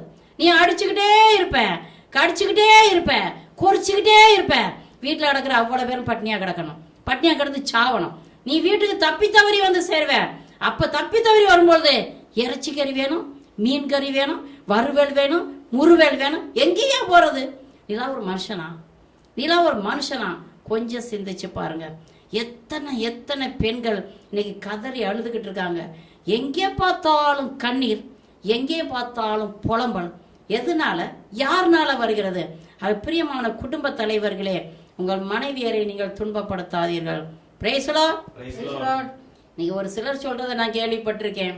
மிருகங்களை துன்பப்படுத்தாதீர்கள் கொடுமைப்படுத்தாதீர்கள் மரஞ்செடி கொடிகளை கொடுமைப்படுத்தாதீர்கள் துன்பப்படுத்தாதீர்கள் என்றெல்லாம் சொல்றத நான் கேள்விப்பட்டிருக்கேன்.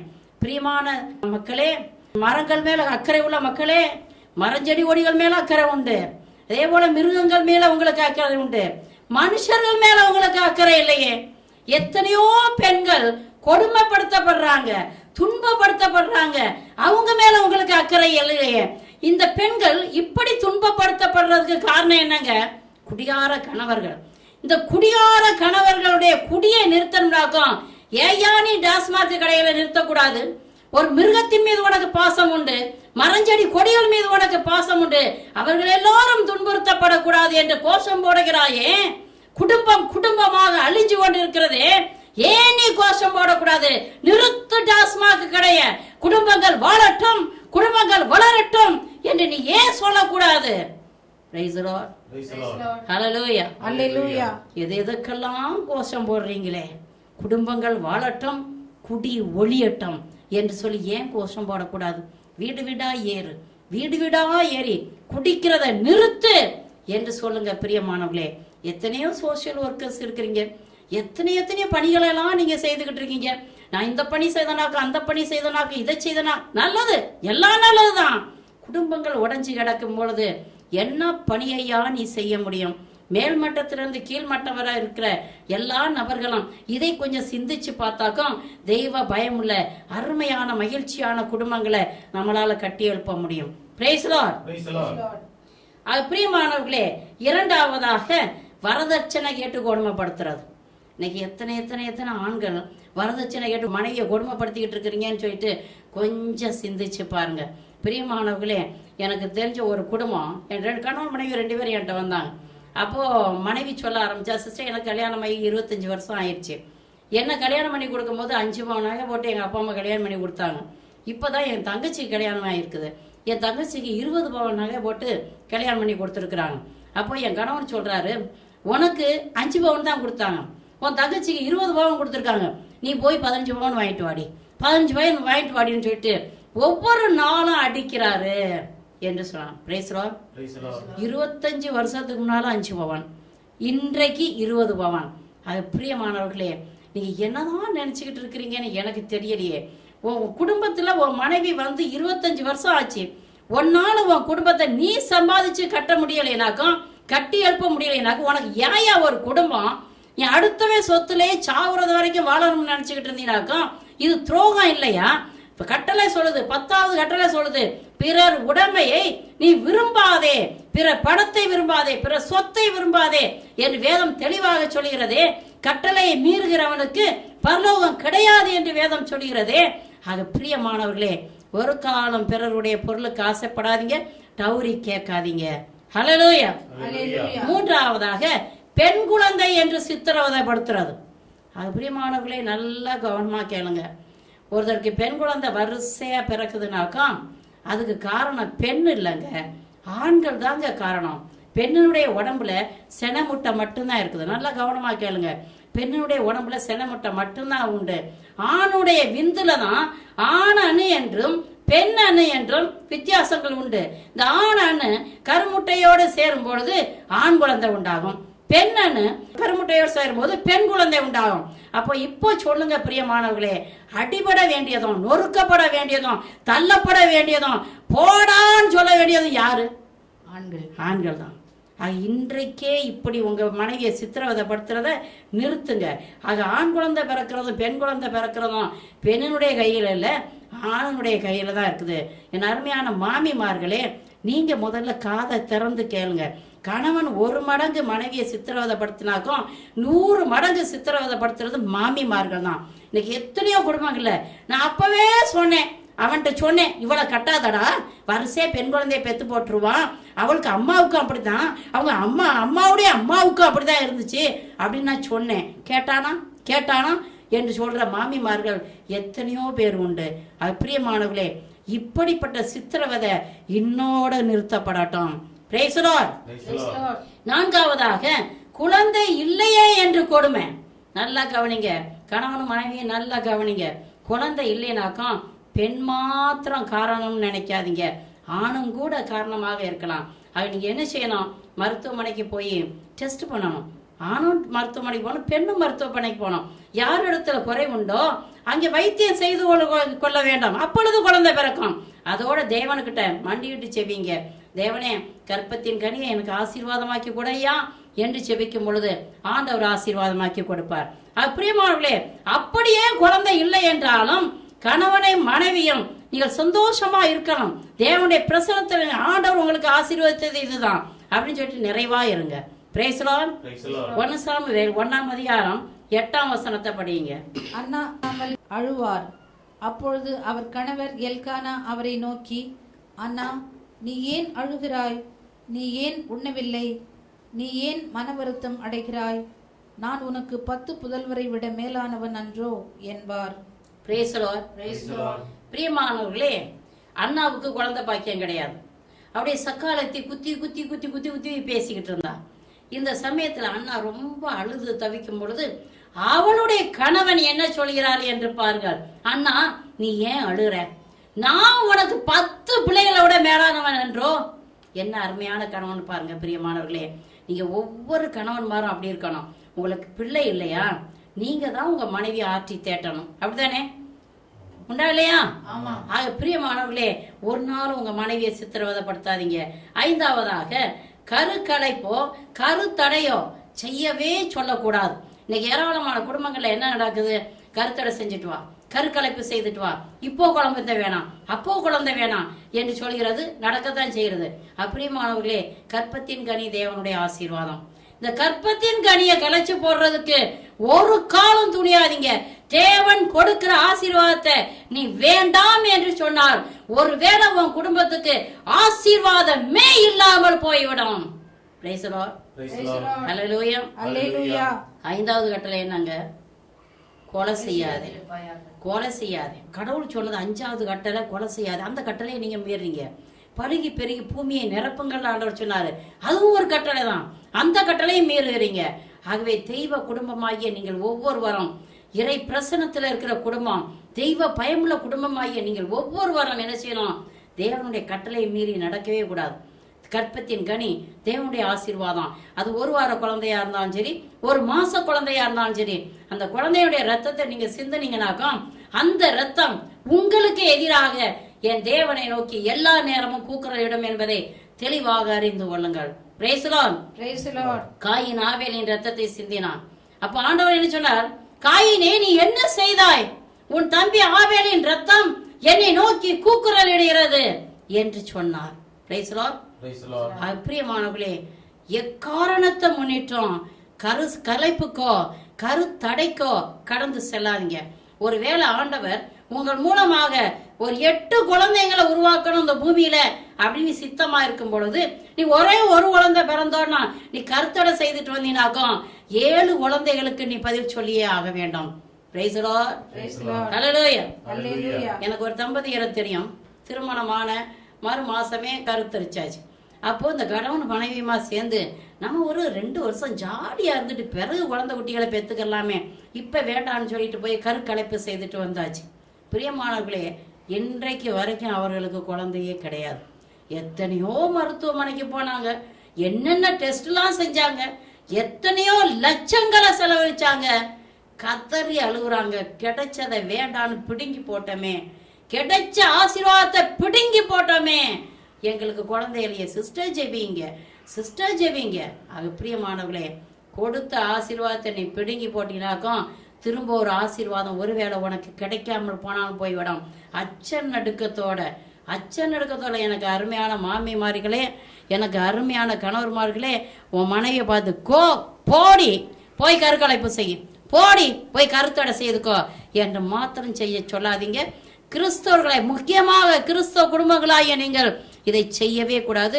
இது வேதத்தின் அடிப்படையில் இது புறம்பானது முரடானது என்பதை மட்டும் தெளிவாக அறிஞ்சு கொள்ளுங்கள். Praise the Lord. பிரியமானவர்களே அதற்கு அடுத்தபடியாக ஒன்னு குருந்தியர் ஏழாம் அதிகாரம் இரண்டாம் வசனத்தை வாசிச்சு பாருங்க. எனினும் எங்கும் பரத்தபை காணப்படுவதால் ஆண்கள் ஒவ்வொருவரும் தம் சொந்த மனைவியோடேயே வாழ வேண்டும். பெண்கள் ஒவ்வொருவரும் தம் சொந்த கணவரோடேயே வாழ வேண்டும். பிரியமானவர்களே இல்லற வாழ்க்கையில பிரமாணிக்கம் மிக மிக மிக மிக முக்கியம். கணவனும் பிரமாணிக்கமா இருக்கணும் மனைவியும் பிரமாணிக்கமா இருக்கணும். அப்பதான் அந்த குடும்பத்துல தெய்வ பிரசன்னம் இருக்கும். அப்பதான் தேவனுடைய ஆசீர்வாதம் இருக்கும்.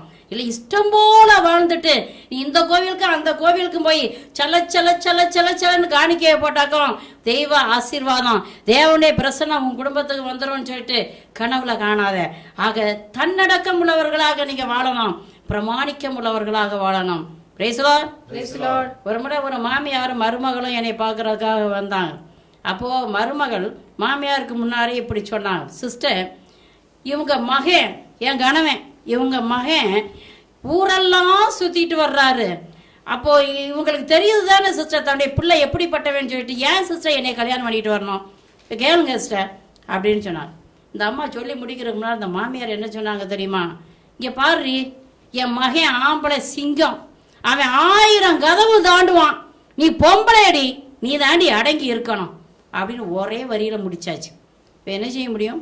இவங்க பேச அவங்க பேச இவங்க பேச அவங்க கடைசியில் எழுந்திரிச்சு போயிட்டாங்க. ரெண்டு பேரும் போயாச்சு. பிரியமானவர்களே ஒரு ரெண்டு வாரம் சென்ற பிறகு அந்த மாமியார் வந்தாங்க. என்னை பார்க்குறக்காக வந்தாங்க. அப்போ அவங்க கதவு கிட்ட வரும்போதே நான் சொன்னேன் வாங்க சிங்கத்தின் தாயே வாங்க அப்படின்னு சொல்லி கூப்பிட்டேன். அப்போ அந்த அம்மா சொன்னாங்க கண்ணீரோடு அழுதுகிட்டு அப்படியே வந்தாங்க. என்னம்மா ஏன் அழுகுறீங்க? சிங்கத்தின் தாயாச்சே ஏன் அழுகுறீங்க? அப்படின்னு கேட்டேன். அது என் மகனுக்கு காய்ச்சல்னு சொல்லிட்டு ஆஸ்பத்திரி கொண்டுட்டு போனோம். விடாத காய்ச்சல். ரத்தம் எடுத்து டெஸ்ட் பண்ணாக்கும் எய்ட்ஸ் வியாதின்னு சொல்லிட்டாங்க. அது இன்னும் ஒரு வாரம் ரெண்டு வாரம் அவ்வளோதான் டைம் கொடுத்துருக்காங்க. சிஸ்டம் உங்கள் கையில் தான் இருக்குது. நீங்கள் ஜெபிக்கணும். உங்கள் கையில் தான் இருக்குது உங்கள் கையில் தான் இருக்குது. அப்படின்னு கத்த ஆரம்பிச்சாங்க. பிரைஸ்லோர் ஆண்டவர் ஆட்டுக்கு வாழை அளந்து தான் வச்சிருக்கிறார். நீ உன் பிள்ளைய சிங்கம்னு சொல்லலாம். இப்போ என்ன செய்வ? இப்போ என்ன செய்வ? சிந்திச்சு பாருங்க. பெற்றோரே உங்க பிள்ளைங்களை கண்டிக்க வேண்டிய நேரத்தில் கண்டிக்கணும். தண்டிக்க வேண்டிய நேரத்தில் தண்டிக்கணும். தட்ட வேண்டிய நேரத்தில் தட்டணும். முட்ட வேண்டிய நேரத்தில் முட்டணும். நீ மொழிவி மொழிவி மொழிவி மொழிவி மொழிவி மொழிவா வச்சிருந்தீன்னா இப்படித்தான் சிங்கமாக மாறுவார்கள். பிரைஸ்லோ. பிரியமானவர்களே வேறொரு நிகழ்வை உங்களுக்கு நான் சொல்லி கொடுக்கிறேன். ஆண்கள் மட்டுமல்ல பெண்களும் கூட கட்டுப்பாட்டோடு வாழ வேணும். கட்டுப்பாட்டை மீறி போகும் பொழுது அந்த குடும்பம் நிச்சயமாக உடையும். ஒரு முறை ஒரு மருத்துவமனையிலே நான் பணி செய்து கொண்டிருந்த பொழுது பிரசவத்துக்காக ஒரு அம்மாவை கொண்டுட்டு வந்தாங்க. அட்மிட் பண்ணோம். ஒரு ப்ரோக்ரஸும் கிடையாது. அப்போது நான் அந்த அம்மாட்ட சொன்னேன் ஏம்மா நீங்கள் ஏதாவது மனசில் நினச்சிருக்கிறீங்களா? ஏதாவது டென்ஷனாக இருக்கிறீங்களா? பிரசவத்துக்கான ப்ரோக்ரஸே கிடையாதே. கொஞ்சம் ரிலாக்ஸாக இருங்க. அப்படின்னு நான் சொன்னேன். அப்போ அந்த அம்மா அப்படி இப்படி திருட்டு மொழி முடிக்கிறமா இப்படி இப்படி பார்த்துட்டு எல்லாரையும் வெளியில் போக சொல்லுங்கள் சிஸ்டர் நீங்கள் மாத்திரம் வாங்க. அப்படின்னு சொன்னாங்க. அப்போ ஏதாவது சொல்ல போகிறாங்க போல் சரி எல்லோரும் வெளியில் போங்கன்னு சொல்லிட்டு கிட்ட போனேன். என் கையை பிடிச்சிட்டு சிஸ்டர் எனக்கு பயமாக இருக்குது? பயமாக இருக்குது அப்படின்னா அப்போ நான் பயப்படாதம்மா. இதெல்லாம் சர்வசாதாரணம் தான். எத்தனையோ பெண்கள் வர்றாங்க பாருங்கள் சுகப்பிரசவம் அடையுது நான் ஆறுதல் சொல்லிக்கிட்டு இருக்கேன். அந்தம்மா கையை பிடிச்சி ஆல்மோஸ்ட் நெரிச்சிட்டாங்க என் கையை. பயமாக இருக்குது பயமாக இருக்கு. என்னம்மா பயம் சொல்லணும்? பிறக்க போகிற குழந்த எதிர் வீட்டுக்காரனுடைய மூஞ்சி மாதிரி இருந்துட்டா என்ன செய்யறது? அப்படின்னு கேட்டான். நான் கேட்டேன் அது எப்படி எதிர் வீட்டுக்காரனுடைய மூஞ்சி போல ஓம்புட்டைக்கும் மூஞ்சி வரும்? அது எப்படிம்மா? அப்படின்னு கேட்டேன். பிரியமானவர்களே குழந்தை பிறந்தது. லோன் பிகோல்டு அந்த குழந்தையுடைய முகம் எதிர் வீட்டுக்காரருடைய முகத்தை போலயே இருந்துச்சு. Praise Lord the Lord. குச்சு குச்சு குச்சுன்னு எல்லாரும் பேசுனாங்க. எல்லாம் அந்த குழந்தைய வெளியில் கொண்டாந்து கொடுத்தேன். எல்லாரும் பப்ப பப்பன்னு பேசுனாங்க. மாப்பிள்ளை வீட்டுக்காரர் எல்லாரும் போயே போயிட்டாங்க. தலைச்சம் பிரசவங்க முதல் பிரசவம். மாப்பிள்ளை வீட்டுக்காரர் எல்லாரும் போயாச்சு. அப்புறம் என்னன்னு கேட்டாக்கா இந்த அம்மா தவறா போயிடுச்சு பிரைஸ் Lord. டைவர்ஸ் ஆயிடுச்சு இன்ன வரைக்கும் அந்த அம்மா அந்த ஒத்த பிள்ளைய வச்சுக்கிட்டு இருக்குது தனியாக தான் இருக்குது. எவன் வந்து கட்டுவான்? எவன் தன்னுடைய மனைவியை சேர்த்துக்கிடுவான் பிரியமானவர்களே கணவனா இருந்தாலும் சரி மனைவியா இருந்தாலும் சரி கட்டுப்பாட்டோடு வாழ வேண்டும். Hallelujah. கிழிச்ச கோட்டை நீ தாண்டாத. கணவனுக்கு மனைவி தான் சொத்து. மனைவிக்கு கணவன் தான் சொத்து. இந்த ரெண்டு பேருக்கும் இடையில வேற யாருமே நுழையக்கூடாது. கணவனும் மனைவியும் ஓருடல்னாக்கும் நீங்க ஓருடலா இருக்கணுமே ஒழிய இன்னொரு ஆள் உள்ள நுழைஞ்சிடக்கூடாது நுழைஞ்சாக்கும் குடும்பம் உடையும் Praise the Lord. Praise the Lord. Hallelujah. பிரியமானவர்களே திருத்தூதர் பணி பத்தாம் அதிகாரம் ஒன்று ரெண்டு வசனங்களை வாசிச்சு பார்த்தீங்கன்னாக்கா அருமையான மகன் கொர்னலியோ இருக்கிறார் அவர் தெய்வ பயம் உள்ளவர் இடைவிடாது ஜெபம் செய்பவர் இறைப்பற்றுள்ளவர் தான தர்மம் செய்கிறவர் அருமையான குடும்பம் பிரியமானவர்களே இந்த கொர்னலியோ ஒரு அருமையான தகப்பனாக இருக்கிறார் நூற்றுவ தலைவனாக இருக்கிறார் நல்ல கணவனாக இருக்கிறார். தெய்வ பயம் உள்ளவராகவும் ஜெபத்துல நல்லா ஊன்றி இருக்கிறார் தன் குடும்ப நபர்கள் எல்லாரையும் கூப்பிட்டு இடைவிடாது ஜெபம் இடைவிடாது துதிய ஆராதனை. இந்த மகனுக்குள்ளே ஒரு ஆசை இருக்குது. இயேசுவை பற்றி அதிகம் அறிந்து கொள்ள வேண்டும் என்கிற ஆசை. என்ன ஆசை இருக்குது? பிரியமானவர்களே இவன் ஒரு ரோமானியன். ரோமானியனாக இருந்தாலும் எப்படிப்பட்ட பரிசுத்தமான வாழ்க்கை வாழ்கிறான் என்று பாருங்கள். இப்படியாக அவன் ஜெபம் செய்து கொண்டே இருக்கிறான். ஆண்டவரே இயேசுவை பற்றிய அறிவு எனக்கு அதிகம் தேவை. எங்களுக்கு அவரை பற்றி சொல்லி கொடுக்குற ஆள் யாராவது ஒருத வேணும் யாராவது ஒருத வேணும் என்று உருக்கமாக ஜெபம் பண்ணிக்கிட்டு இருக்கிறார். அப்படி அவர் மூன்றாம் மணி வேலையிலே ஜெபம் செய்து கொண்டிருந்த பொழுது ஒரு தூதன் கடந்து வர்றார். தூதன் கடந்து வந்து கொர்னலியுவை பார்த்து கொர்நலியுவே உன்னுடைய ஜெபம் கேட்கப்பட்டது. உன்னுடைய இறக்கச் செயல்களும் உன்னுடைய மன்றாட்டுகளும் தேவனுடைய சன்னிதானத்துக்கு கடந்து வந்துருச்சு அப்படின்னு சொல்றார். நீ யோப்பாவுக்கு ஆள் அனுப்பி அங்கே பேதுரு இருக்கிறார். பேதுருவை வரவல அவர் வரட்டும். இயேசுவை பற்றி அதிகமாக சொல்லிக் கொடுப்பார். இறை வார்த்தையை விலக்கி கொடுப்பார் என்று தூதன் சொல்ல அதே போல பேதுருவை கூட்டிட்டு வர ஆள் போயிடுச்சு கொர்நலியும் என்ன செய்யறாரு பாருங்க. தன்னுடைய குடும்பத்தால் உற்றார் உறவினர் ஃப்ரெண்ட்ஸ் எல்லாரையும் கூப்பிட்டு வச்சிருக்கிறார். நற்செய்தி பணி செய்யறாங்க தெய்வ பயமுள்ள குடும்பத்தில் நற்செய்தி பணி நடக்கும். உங்க குடும்பத்துல இருக்க இங்க இத்தனை குடும்பங்கள் உட்கார்ந்து இருக்கிறீங்க. இத்தனை பேர் இறை செய்தியை கேட்டுக்கிட்டு இருக்கிறீங்க. உங்க குடும்பத்துல இந்த பணி நடக்குதா? நற்செய்தி பணி நடக்குதா? கொர்னலியும் தன்னுடைய வீட்டுல நற்செய்தி பணி வைக்கிறார். அப்போ எல்லாரும் உட்கார்ந்து இருக்கிறாங்க. பேதுரு வந்துட்டாரு. பேதுரு வந்து இறை வார்த்தையை போதிக்க போறார். இப்போ திருத்தூதர் பணி பத்தாம் அதிகாரம் நாற்பத்தி நாலுல இருந்து நாற்பத்தி ஆறு வரை உள்ள வசனங்களை படியுங்க. பேதுரு தொடர்ந்து பேசிக் கொண்டிருக்கும்போது அவருடைய சொற்களை கேட்ட அனைவர் மீதும் தூய ஆவி இறங்கி வந்தது. பேதுருவோடு வந்திருந்த விருத்த சேதனத்தில் நம்பிக்கையுடையோர் தூய ஆவியின் பிற இனத்தவர் மீதும் பொழியப்பட்டதைக் கண்டு மலைத்து போயினர். ஏனென்றால் அவர்கள் பரவச பேச்சு பேசி கடவுளை போற்றி பெருமைப்படுத்தியதை கண்டார்கள். பாருங்க பிரியமானவர்களே ஒரு தெய்வ பயமுள்ள குடும்பத்துல என்ன நடக்குதுன்னு பாருங்க. இடைவிடாது ஜெபம் ஏராளமான தான தர்மம் நற்செய்தி பணி. இது மூணும் உங்க குடும்பத்துல இருக்குதான்னு பாருங்க. இடைவிடாம ஜெபிக்கிறீங்களா? இடைவிடாம துதிக்கிறீங்களா? வேத வசனம் வாசித்து தியானிக்கிறீங்களா? பிரியமானவர்களே எனக்கு ஆசீர்வாதம் வேணும் ஆசீர்வாதம் வேணும் ஆசீர்வாதம் வேணும். சும்மா கிடைக்காதய்யா. எப்போ கிடைக்கும்? உன் முட்டிய வளைச்சு வேதம் வாசிச்சு தியானம் பண்ணும் பொழுது ஆசீர்வாதம் கடந்து வரும். அப்பிரியமானவர்களே தொடக்க நூல் இருபத்தி ரெண்டாவது அதிகாரம் ஒண்ணுல இருந்து பதினெட்டு வரை உள்ள வசனங்களை வாசித்து பார்த்தீங்கன்னாக்கா அருமையான நிகழ்வு ஒண்ணு இருக்கிறது. அப்ரகாம் சாராள் ஈசாக்குங்கிற தெய்வ பயமுள்ள ஒரு குடும்பம். அந்த தெய்வ பயமுள்ள குடும்பத்துல இந்த ஈசாக்கு நூறாவது வயசுல பிறந்தவர். அப்ரஹாமுக்கு ரொம்ப பிரியமான மகன்.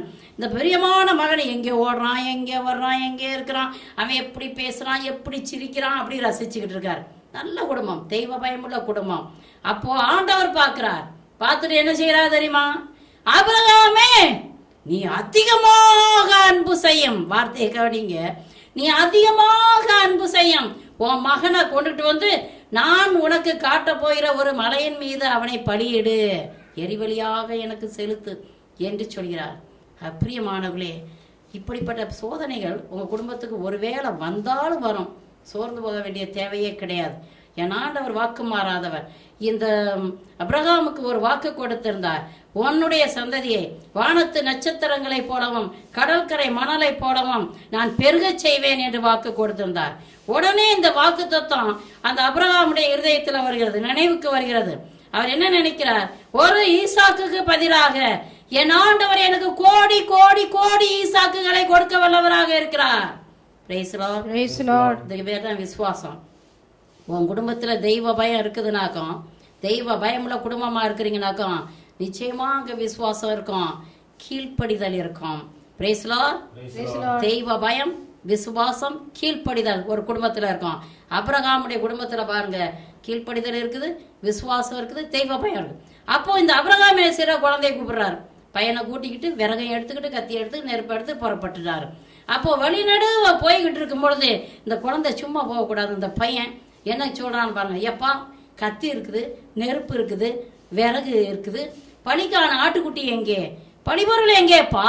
அப்படின்னு கேட்குறான் அப்போ இந்த அப்ரகாம் தளர்ந்து போய்விடல. ஐயோ மகனே நான் பெத்த மகனே நான் என்ன நான் செய்வேன் உன்னே தானடா வெட்டி கொடுக்க போறேன். அப்படின்னு சொல்லி கட்டி பிடிச்சி கதறலங்க. என்ன சொன்னார்? ஆண்டவர் கொடுப்பார். பார்த்துக் கொள்வார் ஆண்டவர் பார்த்துக் கொள்வார் இதான் விசுவாசமான வார்த்தைங்க. அவர் கடந்து போறார். ஆண்டவர் காட்டிய மலை மேல ஒரு பலிபீடத்தை ஏற்படுத்துறார். அதுக்கு மேல விறகு கட்டையில அடுக்கிறார் பையனுடைய காலையும் கையையும் கட்டி மேல தூக்கி வச்சிட்டார். அதோட மட்டும் இல்ல கத்தியை உருவிட்டார். உருவி குத்துறதுக்கு கையையும் ஓங்கிட்டார். அந்த நேரத்துல தாங்க அங்க ஒரு குரல் வருது. அப்ரஹாமே நிறுத்து. என்ன சொல்றாரு பாருங்க. உன் ஒரே மகனையும் எனக்கு பனிரெண்டாவது வசனம். தொடக்க நூல் இருபத்தி ரெண்டாவது அதிகாரம் பனிரெண்டாவது வசனம். பையன் மேல் கை வைக்க பையன் மேல் கை வைக்காதே. ம். அவனுக்கு எதுவும் செய்யாதே. உன் ஒரே மகனையும் எனக்கு பலியிட நீ தயங்கவில்லை என்பதிலிருந்து நீ கடவுளுக்கு அஞ்சுபவன் என்று இப்பொழுது நான் அறிந்து கொண்டேன் என்றார். Praise the Lord. அது பிரியமானவர்களே அபிரகாம் நல்ல பணக்கார குடும்பத்துல நல்ல வசதிக்குரிய வசதியான குடும்பத்துல இருக்கிறவர். அப்படிப்பட்டவர் தேவனுக்கு கீழ்ப்படுகிறாரு தேவனை விசுவசிக்கிறாரு தெய்வ பயமுள்ள குடும்பத்துல குடும்பமா அவர் கட்டி எழுப்பிக்கிட்டு வர்றார். ஆக பிரியமானவர்களே இன்றைக்கு நாம் ஒவ்வொருவரும் உங்களுடைய ஒவ்வொரு குடும்பமும் எப்படிப்பட்ட குடும்பமா இருக்கணும் தேவனுக்கு முன்னால? தேவனுடைய ஆசீர்வாதம் உங்களுக்கு வேண்டும்னாக்கும் தெய்வத்துக்கு முன்னால மண்டிட்டு அவர் பாதத்தை பற்றி பிடிச்சுக்கினே விசுவாசம் உள்ள குடும்பமா இருக்கணும். இடி வந்தாலும் சரி மின்னல் வந்தாலும் சரி சோதனைகள் வந்தாலும் சரி துன்பம் வந்தாலும் சரி துயரம் வந்தாலும் சரி என் ஆண்டவரை விட்டு நான் விலகவே மாட்டேன். அதுதான் விசுவாசம். என் ஆண்டவர் என்னை பார்த்து போன்னு சொல்றாரா நான் போவேன். கீழ்ப்படிதல். இருன்னு சொல்றாரா? இருப்பேன். கீழ்ப்படிதல். அப்படிமானவர்களே தெய்வ பயம் இருக்கணும். விசுவாசம் இருக்கணும். கீழ்ப்படிதல் இருக்கணும். அப்போ ஆண்டவருக்கு அந்த குடும்பம் மிகவும் உகந்த குடும்பமாக இருக்கும். ஏராளம் தாராளம் ஆசீர்வாதங்களை அவர் உங்கள் மீதும் உங்கள் குடும்பத்தின் மீதும் கொட்டுவார். பிரியமானவர்களே உங்கள் குடும்பம் மீட்படைய வேண்டும் என்றால் நீங்க செய்ய வேண்டிய காரியம் ஒண்ணு ஒன்று என்ன தெரியுமா? திருத்தூதர் பணி பதினாறாம் அதிகாரம் முப்பத்தி ஓராவது வசனத்தை வாசிச்சு பாருங்க. ஆண்டவராகிய இயேசுவின் மேல் நம்பிக்கை கொள்ளும் அப்பொழுது நீரும் உன் வீட்டாரும் Lord. என்ன செய்யணுமா? ஆண்டவராகிய இயேசு கிறிஸ்துவின் மீது விசுவாசம் கொள்ளுங்க. நம்பிக்கை கொள்ளும். நீங்களும் உங்கள் வீட்டாரும் மீட்படைவீர்கள். பிரியமானவர்களே தெய்வ பயமுள்ள குடும்பமாக ஒவ்வொரு குடும்பமும் மாறட்டும். தேவனுக்கு உகந்த வாழ்க்கை வாழுங்க. தெய்வ குடும்பத்தை கட்டி எழுப்புங்க. அப்போ தெய்வ பிரசன்னம். அந்த குடும்பத்துல இருக்கும். ஆண்டவருடைய ஆசீர்வாதம் உங்கள்கிட்ட இருக்கும். நீங்க போற வழியிலெல்லாம் அவருடைய பிரசன்னம் உங்களை கடந்து வந்து கொண்டே இருக்கும். Lord. Hallelujah. கர்த்தரை நேசித்து அவர் வழியில் நடக்கும் மனிதர் பேறு பெற்றோர். கர்த்தரை நேசித்து அவர் வழியில் நடக்கும் மனிதர் பேரு பெற்றோர். உழைப்பின் பயனை உண்பார்கள். நன்மையும் நலனும் பெறுவார்கள். உழைப்பின் பயனை உண்பார்கள். நன்மையும் நலனும் பெறுவார்கள். கர்த்தரை நம்பினோம் பேறு பெற்றோம் சியோன் மலை போல் உறுதியுடன் அசையாமல் இருப்பார்கள். அசையாமல் இருப்பார்கள். எங்களை நேசிக்கிற நல்ல பிதாவே இந்த அருமையான இறைச்செய்திக்காக கோடான கோடி நன்றி ஐயா. உமது தெய்வ பிரசனம் இந்த அடிமைகளை மூடிக்கொண்டிருந்த கிருபைக்காக நன்றி கர்த்தாவே. இந்த இறைச்செய்தியை யார் யாரெல்லாம் வாஞ்சையோடு கேட்டுக்கொண்டிருந்தார்களோ அத்தனை குடும்பங்களுக்கு ஆசீர்வாதம் கடந்து வரட்டும் சுவாமி. தேவனே ஒவ்வொரு நபரையும் பேர் பேராக தொட்டு ஆசீர்வதியும் ஆசீர்வதியும். இயேசுவே அவருடைய இருதய இயக்கங்கள் என்ன என்பதை நீர் மாத்திரமே அறிந்திருக்கிறீர் ஆண்டவரே. குடும்பங்களிலே சாந்தி சமாதானம் கடந்து வரட்டும் சுவாமி. குடும்பங்களை பிரிக்கிற பொல்லாத ஆவிகளை இயேசுவின் நாமத்தினால இந்த நேரத்துல சபித்து நிர்மூலமாக்குகிறேன் கட்டுகள் உடையட்டும் ஆண்டவரே. வல்லம கடந்து வரட்டும். வல்லம கடந்து வரட்டும். இயேசுவின் நாமத்தினால இயேசுவின் நாமத்தினால தேவனை ஒவ்வொரு குடும்பத்தையும் இந்த நேரம் ஆசீர்வதிக்க வேணுமாய் செபிக்கிறேன் சுவாமி. ஆசீர்வதியும் ஆசீர்வதியும். இயேசுவின் நாமத்தினால செபங்கேல நல்ல பிதாவே. ஆமென். ஆமென்.